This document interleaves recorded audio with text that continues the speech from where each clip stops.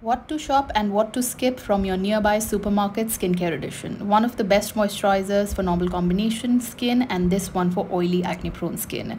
This product can cause skin abrasions so don't waste your money. Best micellar water for sensitive skin. The least impressive vitamin C I have ever tried. Follow for part 2.